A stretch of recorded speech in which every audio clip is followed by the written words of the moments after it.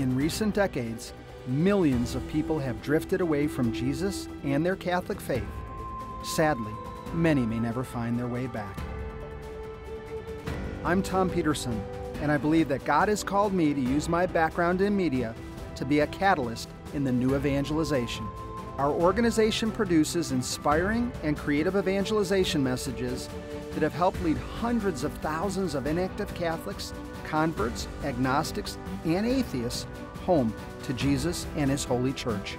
Join us as we travel across North America to bring you stories of heartbreak, redemption, and transformation as the Holy Spirit leads His people home. God has an extraordinary plan for each of our lives. He wants us to spend eternity in heaven with Him and bring as many people with us as possible. This is Catholics Come Home. Now, I welcome you to my home to hear their amazing stories. Welcome to Catholics Come Home. In this episode, we'll meet a man who grew up in West Orange, New Jersey, and was raised as a Baptist. While he married a Catholic woman and had a Catholic wedding, he vowed never to convert to Catholicism. But God had another plan in store for this man. Like everyone else in this series, today's guest came home to the church by responding to a call of the Holy Spirit.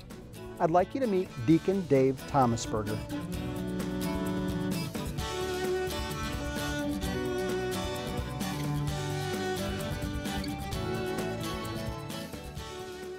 Deacon Dave, welcome home to the Catholic Church and welcome to our home. Well, thank you very much.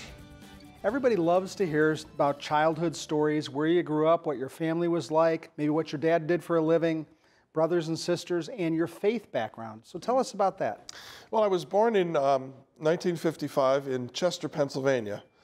And a week later, I was moved to Hamilton Square, New Jersey, which is a small rural community outside of Trenton, where my father had just been installed as the Baptist minister. Oh, He was an American Baptist minister in there. a preacher's kid, as they yeah, say. but I wasn't the typical preacher's kid. I was actually the goody two shoes. I was the opposite of what you hear about preacher's kids. Yes. and um, basically grew up in the church. Um, Nice. It was it was my second home. I, I don't remember not being in the church, and we lived there for 11 years. And then my father, who had grown up in Johnstown, Pennsylvania, in the inner city of Johnstown, Pennsylvania, was tired of the rural life. He wanted to do something. He wanted to promote um, racial equality and, and get rid of the, the racism that was going on. So he got, got himself transferred up to uh, Orange, New Jersey, which is right outside of Newark. Sure.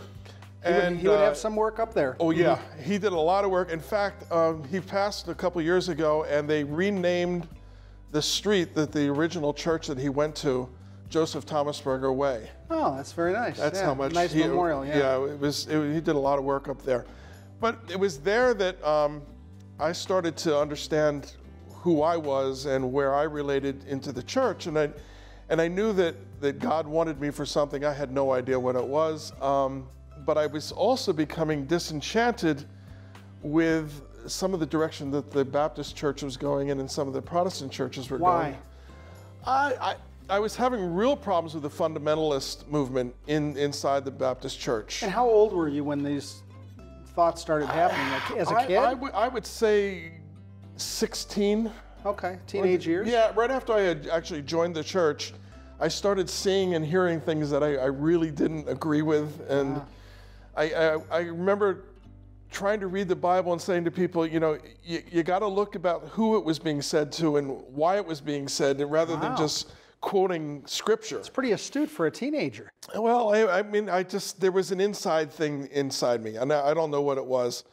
And did your dad teach you about the faith at home as well? Oh yeah, we, t- we talked constantly. Yeah, I would in imagine. fact, I can I can still remember uh, in 1967 when when we had moved up to, to West, West Orange, that um, that's when God the Jesus Christ Superstar came Right. out, and the two of us sat there in the living room listening to Jesus Christ Superstar, Uh-huh. and I was just totally enthralled and amazed by it. Was your dad? yeah, he was also. I'm kind of surprised as a Baptist minister. You would think he would be. Well, my, my father was cut from a different mold than, Ah, than, yeah, than, yeah. than the average. I mean, probably why I was also. But yeah. Jesus Christ Superstar introduced me to the humanity of Jesus. And if you've watched any of The Chosen recently, Yeah. they, they're, they're picking up on that also. And, it, and it's, it, it made me start to understand the Gospels more. That it, ah. that it wasn't this high and mighty thing that, you know, everybody had to be afraid of. There, there was a lot of humanity in, in the approach to it. Deacon Dave, a lot of guests on our show had kind of a checkered past, had a tough childhood, maybe drifted from God. Did that ever happen in your life? What happened in my life was I wasn't accepted at school because I was a goody two shoes. Um, I had a Followed the rules. and I had a strange last name, and I wore white socks, believe it or not. Um, so I gravitated towards the community at the church, and those were my friends. Sure. I mean, yes, the, the kids that I grew up in the street with, they, were- they were fine, but Yeah. My real youth group was was my home as far as Which getting is a together good with kids. Today's it day and age, I- you, you would praise God that I- your kids I are hanging around with church kids. I thank God for it. Yeah. I mean, that, that, that was what it So was. So you kind of stayed on the straight and narrow. Yeah, I did. I did. Yeah. And did you go to college? I didn't. Yeah. Um, what, what happened was I had um, come out of high school and I hated school at that point, and I decided I wanted to be an actor. Oh. So I went to uh, HB Studios in New York City for two years. And uh, while I was there, a friend of mine who was uh, a student at Caldwell College, which was an all girls Catholic college, said that they were putting on a production of Oliver. And they needed guys to come in and play the, the male roles. So you volunteered to go to this all-girls Catholic. Yeah, I see the motive there. I did. I did. And I had actually gone in there seriously with no intention of falling in love. I just fallen out of a relationship. I had no desire Oh, to get. Oh, sure. No, seriously, I, I had no desire to get back into it. And I did end up falling head over heels over the music director, Ah. who was a student there. And um, she told me that she was never going to marry an actor. Ah. So much for acting, because I really had fallen head over heels with her, and I ended up ma- I ended up marrying her. Oh, you did. Yes, Wonderful. I did. She was a cradle Catholic, and her father hated Protestants. Wow. So it, it I can remember I would go to her house and to pick her up, and I would turn the car off on the top of the hill. I had a Volkswagen Beetle, and I would just coast down the, the road, and she would run out, get in the car, and then we would just speed off because. So you weren't always a goody two shoes then. Well, I mean, she was worth it. Yeah She was worth it. You had a famous quote in your bio about becoming Catholic or not becoming Catholic. what was we- it? Yeah, when we sort of made the agreement that we were going to get married, I said, I will raise the kids Catholic. I will even attend a Catholic church, but they have to understand my faith also, and I will never, ever become Catholic. In just a minute, you'll learn what helped Deacon Dave come into the Catholic faith. She said, Where is your faith? I always wondered if it was fake. And I'm starting to think it was. One year after I graduated Catholic high school, I eloped to Las Vegas, Nevada. My husband was not Catholic, and at the time I didn't really think that it really mattered which church we went to because we all loved God and we all loved Jesus, and that was the start of my journey out of the Catholic Church, where I remained out of the Catholic Church for over 30 years. When I um, started to read the Bible, I could see that our Catholic faith is steeped in Scripture. I could see some of the sacraments in Scripture. I could see some of the liturgy in Scripture. I learned that the Catholic Church was started by Jesus Christ, who gave the authority to Peter, and it has continued in succession down to the present day. And that was the start of my journey home to the Catholic Church. If you've been away from the Catholic Church for whatever reason, we invite you to take another look. Visit CatholicsComeHome.org today.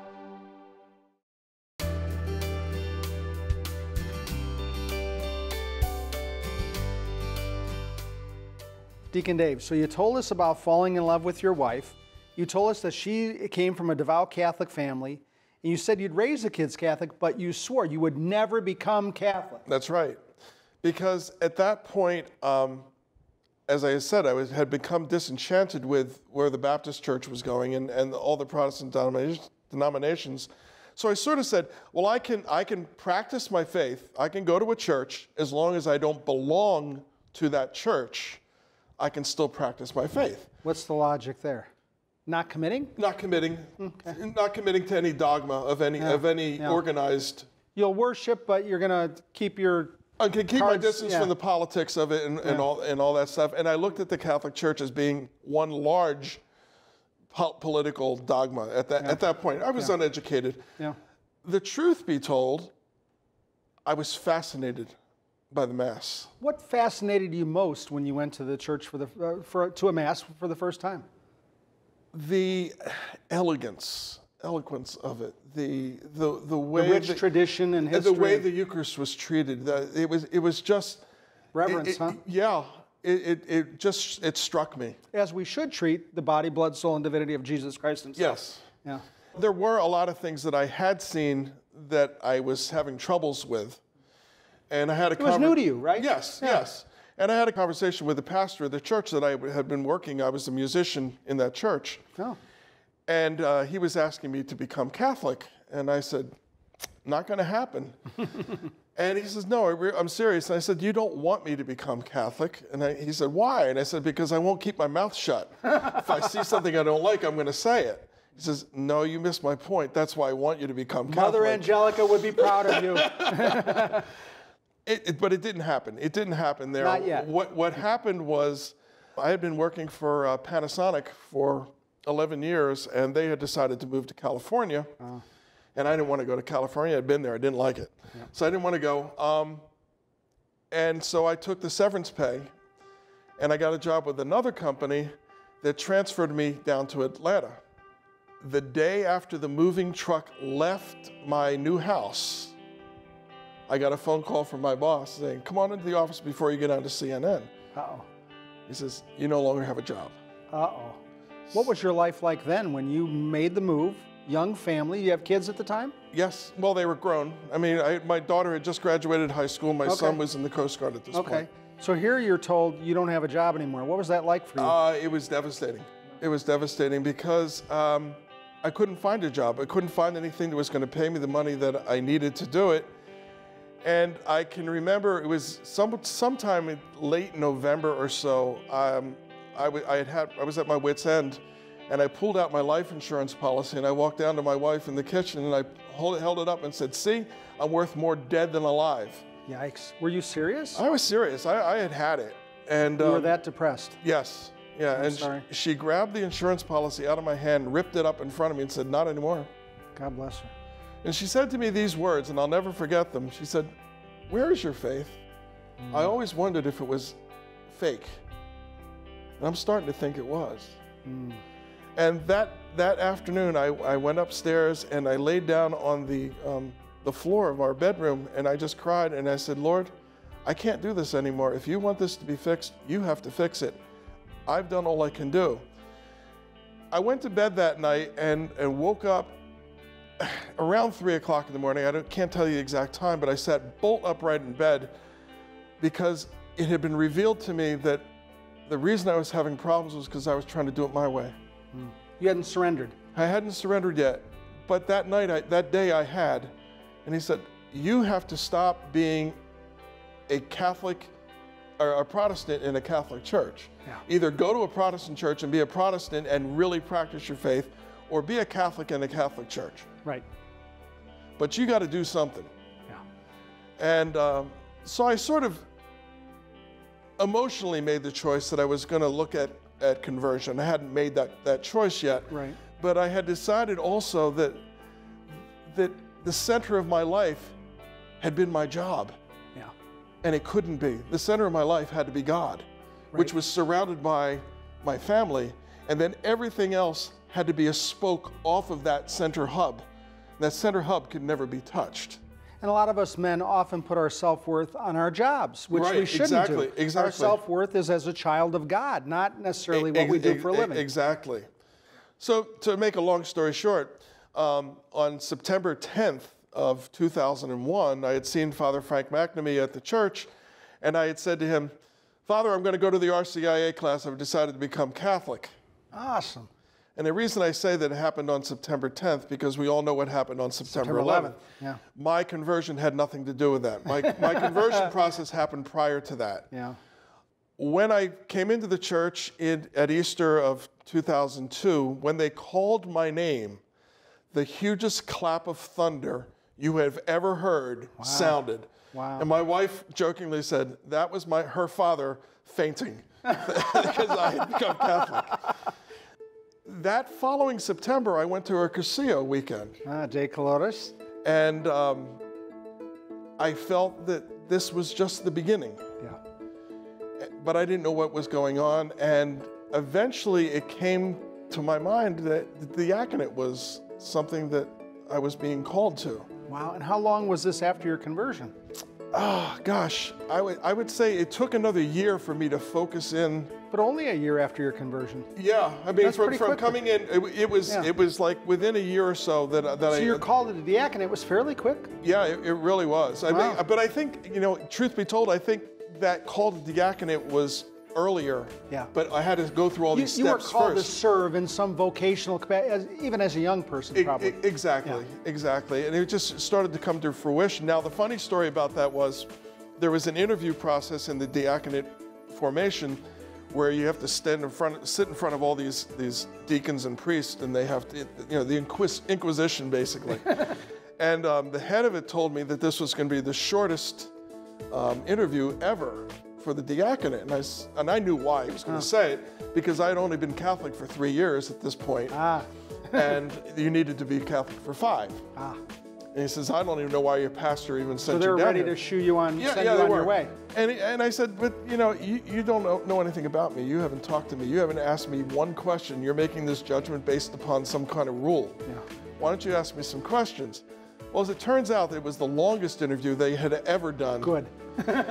because they found out that um, I really was a practicing Catholic, although not in name. Yes. I had already, I had made my conversion a long Your time heart before was there a long time a ago. long time before that. And so here I am. Um, I'm in my 11th year of Thank you for serving. And uh, And we thank your wife for supporting you. yes, A yes. deacon knows. Oh, yeah, yeah. that- I couldn't have done it without her. Without the wives supporting, Could they not wouldn't have be done there. it without Yeah. her. So God bless And you. uh, my son is now uh, the head sound tech at the church. Nice. My daughter and my wife and I, we are the some of the head musicians at the church. Wonderful. We sing at three masses every week.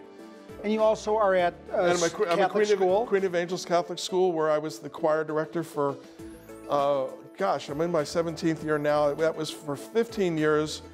Then I became the technologist, and my wife came in and she took care of the rest of the music. So God provided you not only employment, Oh, yeah. but a vocation because you surrendered and said yes to Him when you were laying and crying on the floor. You Yeah. finally said, I can't do it my way.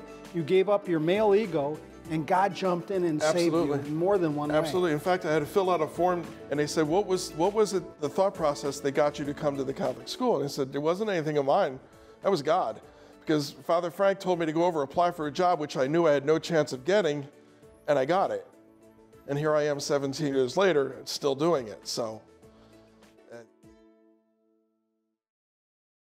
Next, you'll hear about Deacon Dave's vocation in service of our Lord and others. because I finally realized who was I to question something that's been around for 2,000 years? I mean, what do I know? Here, you'll find the best marriage counselor, greatest healer, wisest teacher, and closest friend. I need your mercy. I need a savior.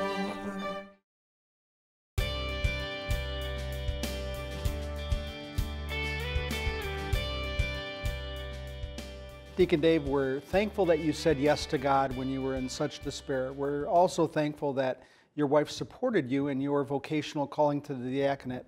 Now that you've been a deacon for so many years, what do you uh, know about the sacraments that you help to teach others? What fruit are you uh, sharing with those that you mentor as being a deacon? Well, one, one of the things that's been coming up quite regularly now is, is this whole bit with men losing their jobs and, and being lost. So I, I share my story with them to give them some hope that if, if you put God first, the answers will, will come. You, you, you, can't, you can't do this on your own. It's not possible. I, I don't know how people function in scary times without faith. I don't, I don't know how they do it. The second thing is the, the words that have been on my lips for, for several years now is all we need is love. I mean, I, I, I love that Beatles song because I, I sing it all the time. Yeah. There is a lack of love in our, in our world right now. Yeah. Everyone's fighting with everybody. about everything. Yeah. yeah. And we, we need to stop. We need, we need to start loving one, one another in a, in, a, in a Christian way. Well, when you say Christian way, it doesn't mean we condone bad behavior. It doesn't mean we condone immoral behavior, but it means we love God and we love others, which is the first and greatest commandment. And the second is similar to the Right. greatest as Jesus taught us. Yes, I mean, hate the sin, but love the sinner. Right, right. Yeah. And, and, and stop being so picky about people. Yeah. But that's easier said than done Oh, because of oftentimes when we exemplify it, the person on the other side of the table doesn't always do it, which makes it a challenge. That's, Yes. I, I understand that. Well, that's one of my challenges. Uh, so, what do you see as a theme when you are helping to prepare people to become Catholic, when you're teaching classes, when you're uh, presiding over a baptism? Uh, what are you noticing these days that people really need? A better understanding of truth. What do you mean by that? Well, uh, there's a lot of stories that out there about Yeah. what, what Catholicism Misnomers, is. huh? Yeah, yeah. And and what I try to help people is to see what the church is actually teaching. Yeah. And then when they say to me, I don't agree with that, I say, let's change our vocabulary there. Acknowledge you have a problem with it, but let's say, I don't understand it. Yeah. Being open minded to learning. I, I want to understand it more Yeah. before And- I make a decision. And you know, you were there too. So Yes, you walked in yeah. their shoes. Because I finally realized who was I to question something that's been around for 2,000 years. I mean, what do Yeah, I this know? isn't made up. It doesn't change. It's what Jesus gave us. Yeah. He started the Catholic Church. It's the bride of Christ, and uh, it hasn't changed. And the Catholic Church is huge. Um, a good friend of mine gave me a good analogy. He said the Catholic Church is like a football field. Most people play between the hash lines, Hmm. but the people from the hash, left hash line out to the out of bounds, they're still Catholic. And the people from the right hash bar to the out of bounds, they're still Catholic. Just because you're in the middle doesn't mean they're not. And, and I look at that as, as, as a reality for myself all the time. But here's the beauty of it because we talked about truth. We have the Bible, we have the catechism of the church, we have the authority of the church, which has not changed since That's right. Jesus. So if you want to go to the playbook on that field, you look at the catechism and you say, okay, as long as we're on the field and we're, right. we're walking to that truth, it's all good. But when we go out of bounds and off the catechism, that's when we have to gently and lovingly correct and say, this is the truth. Yeah. So there is there is an out of bounds too. Oh, of course Yeah. there, of course there is. As as you know, through formation, we were encouraged as up and coming clergy to be in the center of the field, so we could embrace both the left and the right. And you don't mean that politically, but people No. people who have different opinions Yes, or different right. different thought patterns. The, come hardest from part is when you're when you're out on those fringes, looking at the other side of the field and saying, "Oh, wow, they're still Catholic," but but they are. Yeah, and I think really what it's saying is, as long as it's within Catholic teaching and as long as we're authentically Catholic, we need to uh, gently correct, gently share what the Church teaches in a loving way, Yes. not in a pointing, condemning way. And Right. that's that's what you've learned and shared. Exactly. Well, Deacon Dave, we're so thankful that you've uh, always had a strong faith background, and God bless your parents for instilling that in you. Uh, we thank God that your heart was open and, and your dear wife was uh, patient with you in your conversion process. We pray for more of that. Amen. Our wives uh, are very patient with us men. Um, and uh, we thank God that you're fully Catholic and sharing the faith as a deacon with your vocation. Yep. Welcome home. well, thank you very much.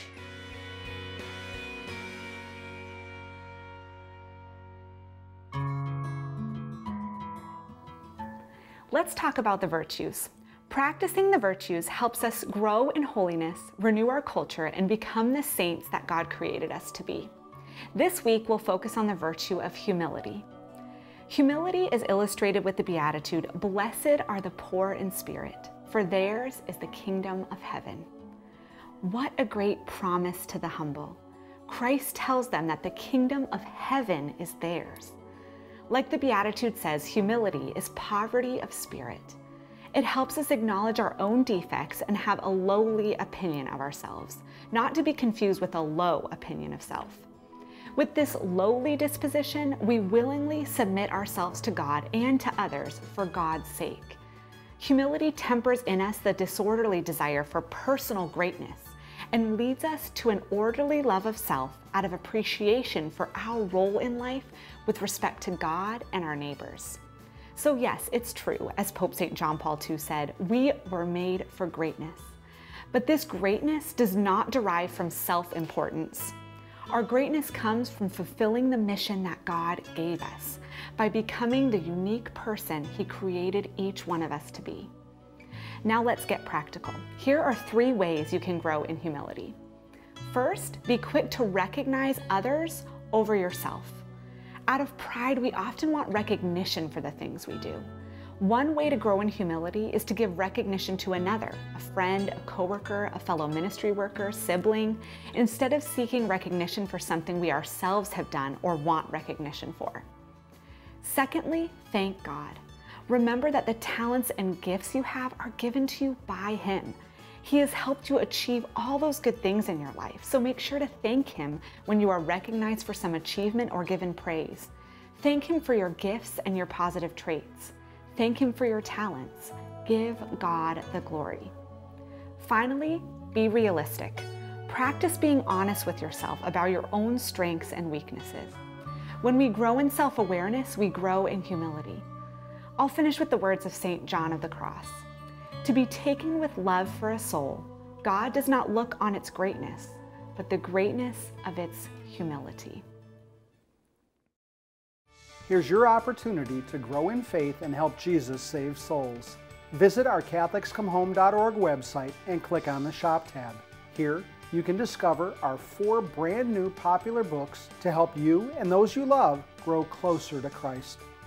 The Willpower Advantage, Building Habits for Lasting Happiness, includes a personal spiritual audit and a customized plan to help you fight lifelong vices and find freedom in Christ. One Moment Can Change a Soul helps you guide family and friends home to the Catholic faith. Plus, two beautifully illustrated children's books to help your children or grandchildren stay close to Jesus. Epic, the story of Jesus' Holy Catholic Church, and Santa's Priority, Keeping Christ in Christmas. You can also order a car magnet to evangelize in traffic, evangelization cards, and DVDs with all of our best episodes of our international television series. If you have a question or want to tell us how Catholics Come Home has blessed someone you know, or you can financially help us blitz the secular airwaves with these powerful evangelicals, contact us at info at catholicscomehome.org or by mail. Catholics Come Home, P.O. Box 1802, Roswell, Georgia 30077. Please help Jesus save more souls. During his youth, Dave grew up in a Baptist family and vowed never to become Catholic.